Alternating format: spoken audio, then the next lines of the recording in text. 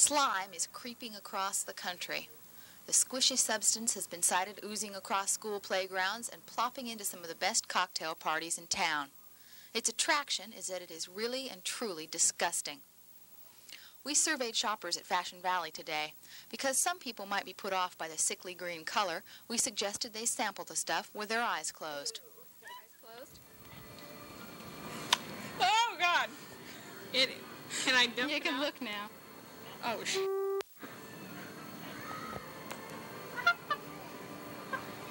what is that? But it's not much better with your eyes wide open. What happened?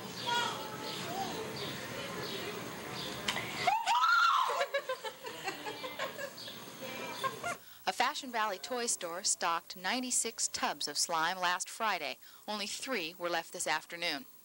It's it's super. It doesn't last three days in the store. We get it and it's gone.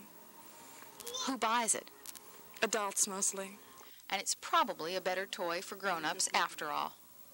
I gave it to my five-year-old and she got it in her hair and I had to cut it out because it doesn't come out of hair. She got it on the sheets and I had to scrub the sheets clean and it was just all over the place. But the kids love it, and everyone knows kids are the toughest critics. Stop. Yuck.